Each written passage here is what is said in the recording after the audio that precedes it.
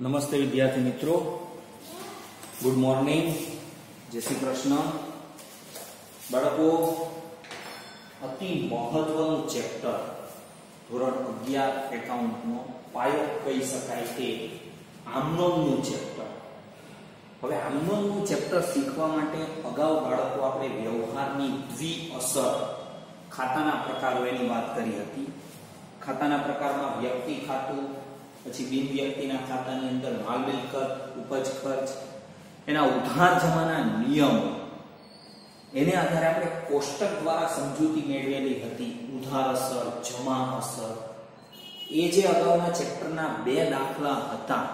એક ઉદાહરણ, એક સ્વાધ્યાય, છેલ્લા દાખલા. તો એ બરાબર જો ધ્યાન આપેલું હશે, તો આ ચેપ્ટરમાં કોઈ તકલીફ નહીં પડે. ઉધાર જમાના નિયમો બાળકો મુખ્ય બાબત છે. ચાલો, તો એ રિપીટ કરીએ નિયમ. વ્યક્તિ ખાતું હોય તો લાભ લેનાર, ઉધાર લાભ આપનાર જમા. માલ મિલકત ખાતું હોય, આવે તો ઉધાર, જાય તો જમા. ઉપજ ખર્ચ ખાતું હોય, ખર્ચ, નુકસાન, ઉધાર. ઉપજ, લાભ, જમા. હવે આ ચેપ્ટરમાં અગાઉ આપણે થિયરીની વાત કરી હતી.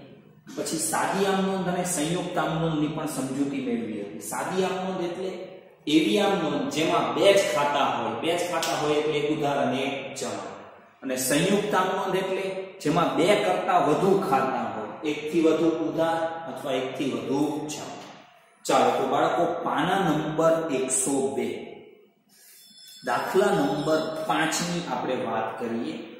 નીચેના વ્યવહારો પરથી પ્રાંજલના ચોપડે આમ નોંધ લખો. તો શ્રી પ્રાંજલની આમ નોંધ તારીખ, વિગત, ખાપા, ઉધાર રૂપિયા, જમા રૂપિયા. આ છે આપણું ફોર્મેટ ચાલો. હવે અહીંયા બાળકો, તારીખ નથી આપેલી ક્રમ છે એક, બે, ત્રણ, ચાર. ક્રમ એ જ આપણા માટે તારીખ. દસ હજાર રૂપિયા રોકડ લાવી ધંધો શરૂ કર્યો. તારીખમાં લખીશું એક ચાલો. રોકડ એટલે ધંધાની ચાલુ મિલકત. રોકડ આવે છે. આવે તો ઉધાર. ચાલો. રોકડ ખાતે ઉધાર. અને આ રોકડ લાવે કોણ? ધંધાનો માલિક. માલિક લાવનાર, માલિક આપનાર આપનાર હંમેશા જમા. અને માલિકના બે ખાતા. માલિક અંગત મિલકત ધંધામાં લાવે તો મૂડી. અને માલ મિલકત રોકડ અંગત વપરાશ માટે, ઘર માટે ધંધામાંથી લઈ જાય તો ઉપાડ. આ છે મૂડી. તે મૂડી ખાતે જમ. રકમ દસ હજાર. બાળકો, આ બાબત પણ સમજાવેલી. જે ખાતું ઉધાર હોય એ પહેલા વખત રોકડ ખાતે, પછી વિગતનું ખાનું પૂર્ણ થાય ત્યાં ઉધારનો ઉ, રકમ ઉધારના ખાનામાં. જે ખાતું જમા હોય એ નીચે સેજ અંદરથી લખાશે, તે કરી તે મૂડી ખાતે જમા. જમા બોલવાનું છે, પણ લખવાનું નથી રકમ જમાના ખાનામાં. આમનો લખાઈ જાય પછી નીચે વ્યવહારની ટૂંકી વિગત આપણે લક્ષણોમાં વાત કરેલી બાબત છે. રોકડ લાવી ધંધો શરૂ કર્યો તેના રોકડ લાવી ધંધો શરૂ કર્યો તેના હવે બાળકો, આખી આમનો બાબત જે સહી પૂર્ણ થઈ જાય, પછી એક સરસ મજાની લાઈન કરવાની, પણ વિગતના ખાના પૂરતી. તમારે તો ચોપડામાં લાઈન તૈયાર જ હોય. ચાલો, નંબર બે, પાંચ હજાર નો માલ રોકડેથી ખરીદ્યો. બાળકો, માલ ખરીદ્યો. ખરીદીમાં માલ આવે. આવે તો ઉધાર. એટલે અગાઉ જ વાત કરેલી. ખરીદ ખાતું હંમેશા ઉધાર થાય. ખરીદ ખાતે ઉધાર. કેટલાનો માલ છે? તો પાંચ હજાર. રોકડેથી ખરીદ્યો. માલ આવે.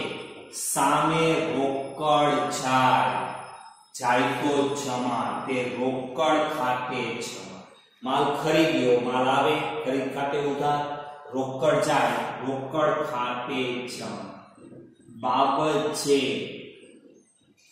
રોકડેથી માલ ખરીદ્યો, તેના, રોકડેથી માલ ખરીદ્યો, તેના.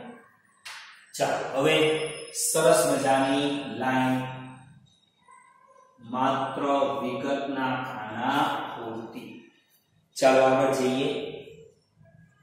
નંબર ત્રણ. આઠ નો માલ રાજન પાસેથી સાત પર ખરીદ્યો હવે બે અને ત્રણ બંને વ્યવહારમાં બાળકો માલ ખરીદેલો છે. નંબર બે માં રોકડેથી ખરીદેલો છે. નંબર ત્રણમાં ઉધાર ખરીદેલો છે. માલ રોકડેથી કે ઉધાર ગમે તે રીતે ખરીદવામાં આવે. માલ આવે છે એટલે ખરીદ ખાતું તો હંમેશા ઉધાર જ થાય. આ યાદ રાખજો, રકમ આઠ હજાર. હવે જો રોકડેથી ખરીદ્યો હોય તો રોકડ જાય જમા. ચેકથી ખરીદ્યો હોય તો ચેક જાય, એના પૈસા બેંક આપે, બેંક આપનાર જમા. પણ અહીંયા રાજન પાસેથી સાત પર ખરીદ્યું. હવે બાળકો, વ્યવહારની દ્વિઅસરમાં વાત કરેલી આપણે. જો ઉધાર કે સાખનો વ્યવહાર હોય, તો ફરજિયાત એક ખાતું વ્યક્તિનું આવશે જ. રાજન પાસેથી ખરીદ્યો. વ્યવહારને બરાબર સમજો તો એની અંદર જ જવાબ હોય.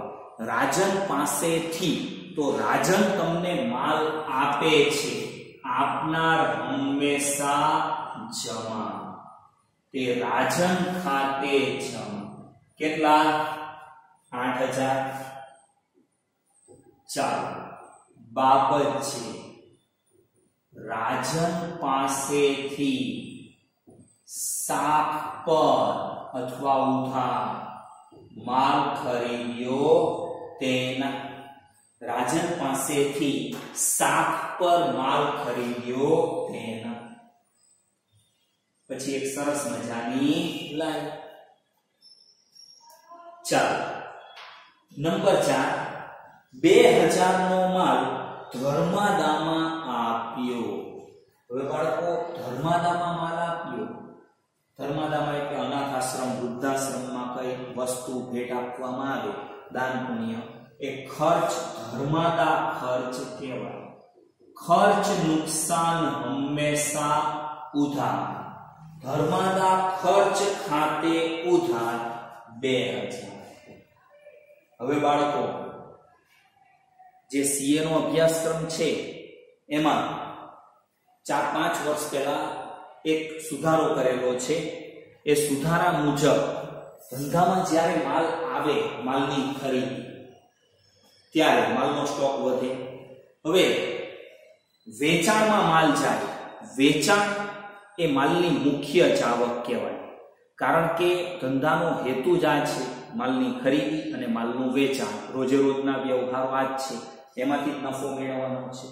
પણ એ સિવાય ધંધામાંથી માલ જાય, દુકાનમાં આગ લાગે, આગમાં માલ બળી જાય, માલ ચોરાઈ જાય, પછી નમૂના તરીકે આપવામાં આવે ધર્માદા તરીકે માલ આપવામાં આવે. તો તમે જે માલ ખરીદેલો હોય ને, એના સ્ટોકમાં ઘટાડો થાય.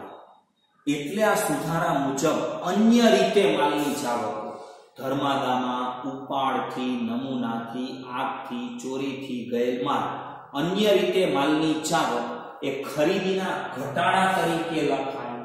એટલે અહીંયા આવશે તે ખરીદ ખાતે છે જૂના સિલેબસમાં એવું હતું, ધર્માદા ખર્ચ ખાતે ઉધાર તે ધર્માદાથી ગયેલ માલ ખાતે જમા આગમાં માલ બળી જાય, તો આગથી બળી ગયેલ માલ ખાતે જમા પણ હવે અન્ય રીતે જાવકો ખરીદ ખાતે જમા થશે. બે હજાર. ચાલો. બાબત છે.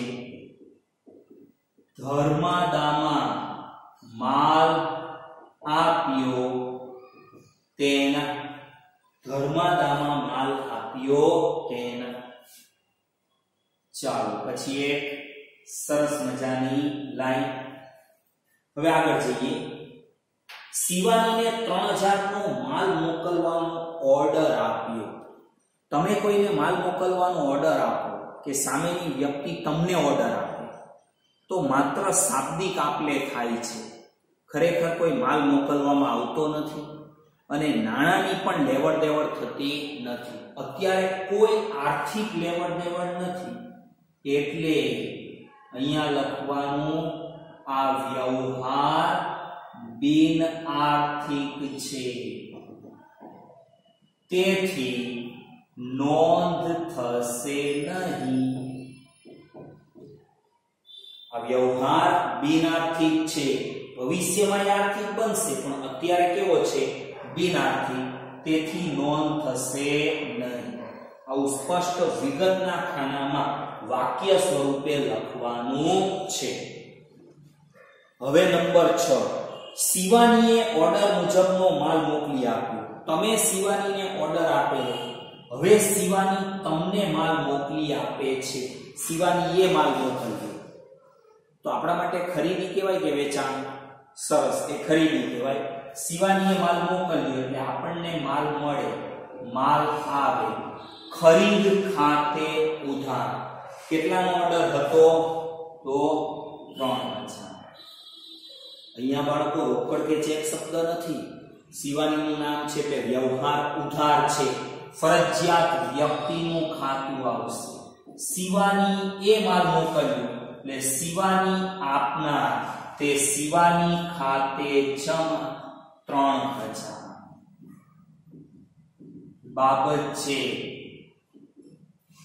શિવાનીએ માલ મોકલ્યો તેના ઓર્ડર મુજબ માલ મોકલ્યો તેના. હવે બાળકો આમનો લખતા, ધારો કે ઘણા બધા વ્યવહારો હોય, આઠ, દસ, પંદર વ્યવહાર, એક પેજ પૂરું થઈ જાય, તો શું કરવાનું?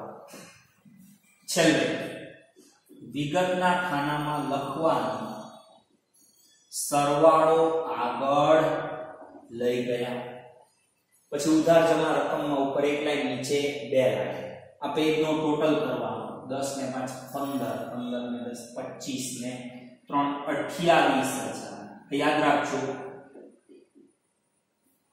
આપણે કદાચ દરેક દાખલામાં ન કરીએ, પણ તમે પરીક્ષામાં દાખલો ગણો પેજ પૂરું થઈ જાય છે. નીચે વિગતમાં સરવાળો આગળ લઈ ગયા, જે તે પેજનો ટોટલ નવું પેજ શરૂ થાય, ફરીથી નમૂનો, તારીખ, વિગત ખાપા ઉધાર રૂપિયા, જમા રૂપિયા, એમાં વિગતની નીચે એક લાઈનનું આ રીતે ગેપ રાખવાનું અને ત્યાં લખવાનું સરવાળો. આગળ લાવ્યા. આ ટોટલ અઠ્યાવીસ હજાર. ત્યાં નીચે એક જ લાઈન કરવાની. બરાબર? આ રીતે યાદ રાખજો, હવે છેલ્લો વ્યવહાર, પચીસો રૂપિયા જીવન વીમા પ્રીમિયમના ભર્યા. જીવન કે જિંદગી આવે એટલે માલિકના જીવનની વાત. તો માલિકના જીવનના વીમાનું પ્રીમિયમ એટલે ધંધાનો ખર્ચ નથી બાળકો. માલિકનો અંગત ખર્ચ છે. ખાલી વીમા પ્રીમિયમ હોય તો ધંધાનો ખર્ચ, તો ખર્ચ ઉધાર, વીમા પ્રીમિયમ. પણ જીવન વીમા પ્રીમિયમ એટલે અંગત ખર્ચ એ ધંધામાંથી ચૂકવાય છે. એટલે માલિક લેનાર છે. ઉપાડ ખાતે ઉધાર. પચીસો. ભર્યા શબ્દ શું દર્શાવે છે? ધંધામાંથી રોકડ જાય છે. ભર્યા, ચૂકવ્યા, આપ્યા એટલે રોકડ જાય છે કેટલા? પચીસો. ચાર બાબત છે. જીવન વીમા પ્રીમિયમ ભર્યું તેના. બાળકો, અહીંયા તમામ વ્યવહારોની આમ નોંધ લખાઈ જાય છે. હવે છેલ્લે આપણે કરીશું કુલ સરવાળો. વ્યવહારની હંમેશા દ્વિઅસર થાય. એક અસર ઉધાર, એક અસર જમા. જેટલી ઉધાર, એટલી જ જમા. એટલે ઉધાર જમાનો ટોટલ સરખો જ આવે હંમેશા. ત્રીસ હજાર પાંચસો. ત્રીસ હજાર પાંચસો. તો બાળકો, આ સરસ મજાનો આપણો પહેલો દાખલો. વ્યવસ્થિત આખો વીડિયો લેક્ચર જોઈ લેવાનું છે. અને ઉધાર જમાના નિયમોને આધારે સમજૂતી મેળવી લેવાની છે. આ નિયમો તમે અગાઉ શીખી જ ગયા છો.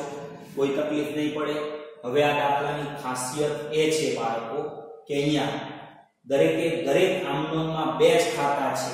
એક ખાતું ઉધાર, એક ખાતું જમા. એટલે અહીંયા છે સાદી આમનો ક્લિયર?